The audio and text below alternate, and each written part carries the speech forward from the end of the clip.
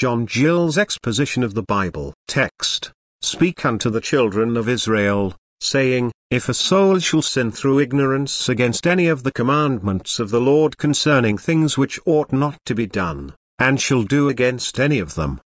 Leviticus 4, 2. Commentary Speak unto the children of Israel, saying, For this law concerning the sin offering, as the rest, only belonged to them, and such as were proselyted to them. If a soul should sin through ignorance, sin is from the soul, though committed by the body, it is the soul that sins. Ezekiel 18, 4. It includes, as Ibn observes, both Israelites and proselytes, who sinned through ignorance either of the law, that such things were forbidden, or of having committed them, they being done unobserved, and through inadvertency, or were forgotten that they were done, or were done through error and mistake. These sins are what the apostle calls the errors of the people, their strayings out of the way through ignorance and inadvertency, Hebrews 5, 2 9, 7, such sins as a man is overtaken with unawares, and is drawn into at once through temptation and the prevalence of corruption.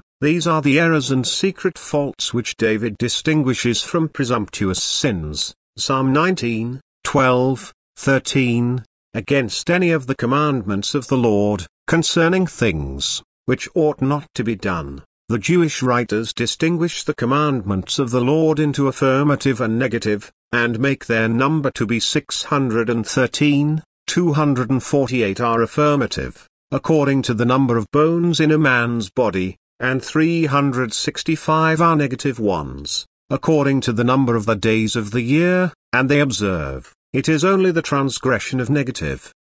precepts that is here meant, and for which a sin offering was to be brought.